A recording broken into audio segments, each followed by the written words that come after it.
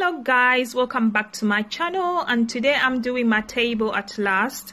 After researching and waiting for a year to have the energy to paint the table.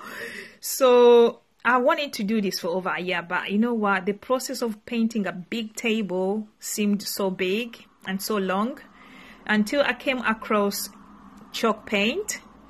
And chalk paint says all you need to do is just wipe clean the table and then you don't need to sand and just slap the paint on. So that is the method you see the cloth that I used to clean the table before I started painting it. I waited for it to dry properly and that is the paint that I used.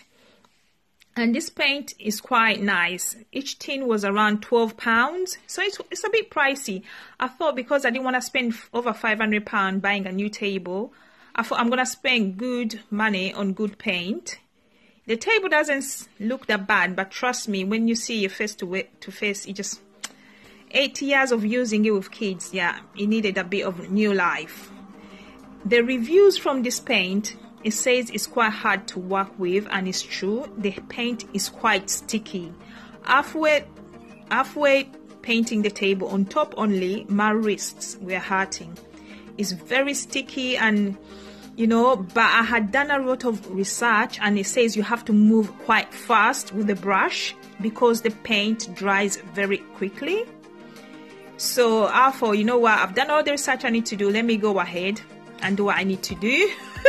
Paint the table. Okay. I'm talking gibberish. But yeah. Mm. guys So this is the first coat. It's a bit late, so the lighting is not that great, but you can see. Be up close. Yeah, not bad. Don't know here why. You can see this is where I started off. So, yes, I didn't do enough coverage because compared to here, it's kind of different. Yeah so let me start the second cut but yeah looks different. Yeah but I'm hoping. This is the second coat after four hours of waiting for the first coat to dry. Yes four hours is, is too long guys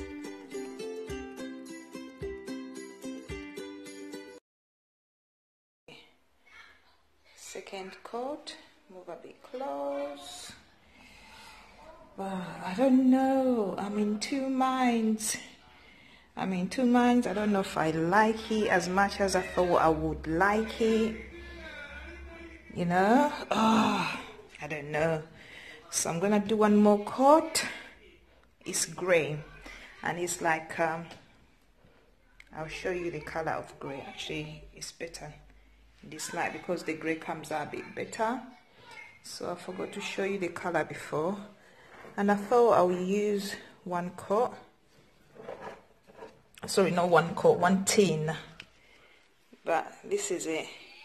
That is the color that type of a gray whatever that is. Flat oh yeah. So yeah I'm in two minds. I can't go back now can I? Oh Oh, I'm worried. I'm worried that I'm not gonna like it. Oh, this is a bummer. I know. I also made sure that every part of the table that I painted, I gave it three coats.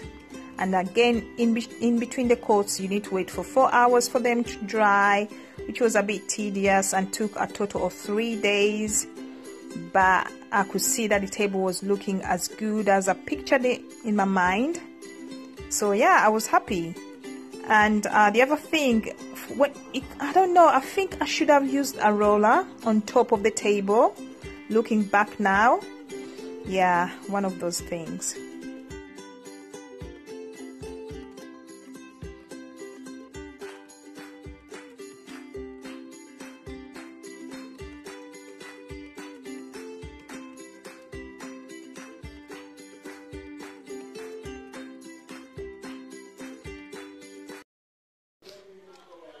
okay guys this is it. Third coat is finished. Yes I like it. Yeah. My mind has changed. It looks superb. Really really nice. Oh. So what I'm gonna do now is to put on the uh, wax. For waxing I did three coats one hour in between and it says you need to leave it to cure for 72 hours at least because I've got kids. I need to what I'm going to do I'm gonna put a cover over it so I let it cure for about seven days. The longer the better.